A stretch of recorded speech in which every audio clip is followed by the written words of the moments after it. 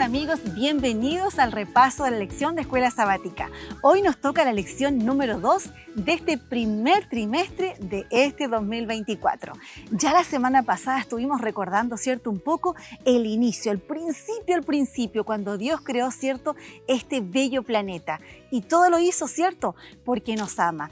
¿Y qué, cuál es el propósito de la lección? Que recordemos, ¿cierto? En todo momento el amor de Dios a través de las cosas hermosas que observamos a nuestro alrededor. Y bueno, esta semana nos toca dedicarnos a algo importante, a ti, a mí, a nosotros, a la humanidad, cómo Dios nos creó, ¿cierto? Y qué importante era lo que el Señor tenía preparado para nosotros. Vamos a leer el versículo que tenemos en la lección para esta semana. Está en Génesis 1.27 y dice así, y creó Dios al hombre a su imagen, a imagen de Dios lo creó hombre y mujer los creó. Así fue. Luego de todos esos días que él dedicó, ¿cierto? Creando este planeta hermoso, con la vegetación, los animales, ¿cierto?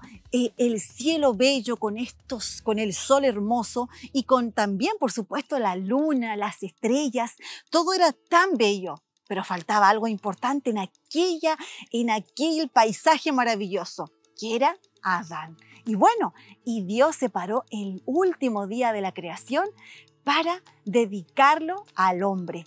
Claro, hizo a un hombre en donde se dio cuenta que era el Señor, el que debía ser el mayordomo de todas las bendiciones que Dios había creado.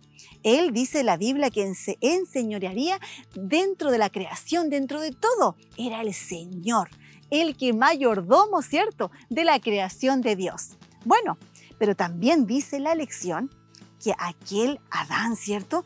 Que era creado a la imagen de Dios, estaba un poco solitario. Dice la lección que los animales andaban en grupo, andaban seguramente en pareja, ¿cierto? Y vio Dios que a Adán le faltaba una compañera. Y pues dice la lección también, nos recuerda que Dios hizo dormir a Adán. Y de un costado sacó una parte para formar a la mujer. Y así creó a Eva. Y Dios la creó perfecta, hermosa, así tal cual como lo era Adán. Ellos eran a la imagen, creados a la imagen y semejanza de Dios. Imaginemos por un momento la alegría que tuvo que sentir Dios al ver una creación maravillosa, a un hombre perfecto, a una mujer perfecta. Claro, ahora estaba todo completo, estaba todo terminado.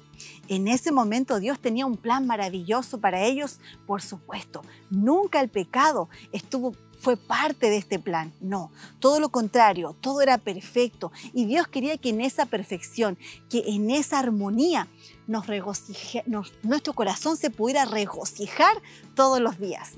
Hoy Gracias a la Biblia recordamos la historia de la creación, recordamos lo que ocurrió, cómo Dios creó este planeta, cómo lo formó de manera ordenada, paso a paso y al final para terminar la creación, ¿cierto? Creó al hombre y a la mujer. Bueno, ¿somos importantes para Dios? Por supuesto que sí. Algo hermoso que el Señor creó. Así como la semana pasada la lección nos pedía que recordáramos cada vez que saliéramos al parque o que viéramos un hermoso árbol o un hermoso atardecer, que recordemos cómo Dios nos ama, que recordemos las promesas y que en todo momento también recordemos que el pecado nunca fue parte del plan. Todo lo contrario, Dios quería que viviéramos en armonía, en amor, en tranquilidad. Y bueno, también nos recuerda la lección que al recordar, al tú mirarte al espejo cada mañana, puedas decir, Dios me creó a su imagen y semejanza, me creó con amor. Soy un hijo de Dios. Que cada mañana levantarte tú puedas experimentar ese gozo de sentir que la creación no es una historia que está solamente contada en la Biblia, es una realidad. Que tú al salir, al ver un árbol, te recuerde mmm, cómo Dios hizo esta bella creación para mí y cómo me hizo a mí también a su imagen y semejanza y me ama y hay un plan de salvación perfecto para mí. Esta semana iniciémosla tomados de la mano del Señor. Vamos en la segunda semana de este nuevo año, ¿cierto? Escribamos tal vez en, alguna, en algún lugar de la lección de escuela sabática, en algún papelito, alguna meta para esta semana, algún objetivo para alcanzar. Tal vez puede ser hacer tu culto personal todas las mañanas, orar al Señor cada vez que te levantas, puede ser, ¿cierto? O también estudiar tu folleto de escuela sabática, también puede ser una linda meta para alcanzar en este día. Te invito a que oremos para que el Señor nos dé la fuerza cada mañana, para que el Señor nos levante y nos recuerde que debemos hacer, ¿cierto?, nuestro culto personal. Oremos. Amado Señor, te damos gracias por las historias que nos recuerdan tu amor tan grande hacia nosotros.